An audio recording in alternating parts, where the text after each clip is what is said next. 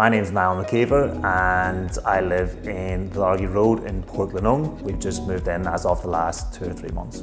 Initially myself and my wife sat down and we discussed what we wanted for our forever home. We had a number of key themes I guess around stonework, around a modern style home. I think that whole modern idea and with the energy crisis at the moment and um, what's going on in the current economy, I think we needed to ensure we were efficient with our choice going forward.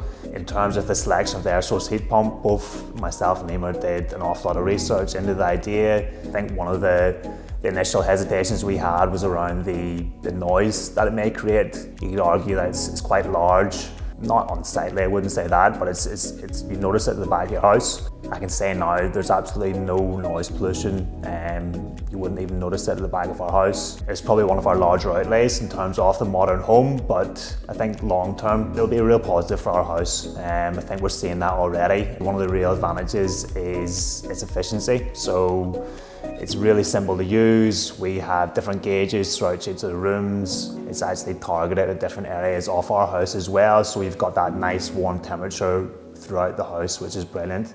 Um, I'm really looking forward to winter time to see how that looks for our house.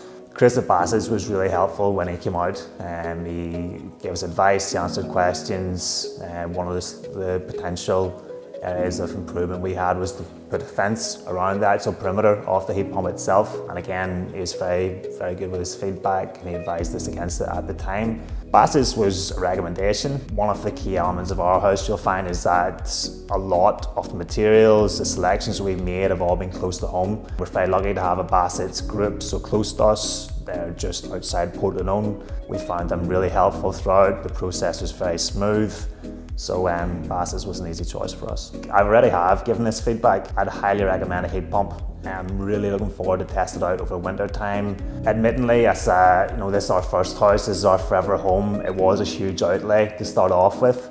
However, I think the benefits going forward, the way the world's going, the efficiency of the system should really see us future-proof the home. Yeah, significant benefits going forward, which I'm looking forward to.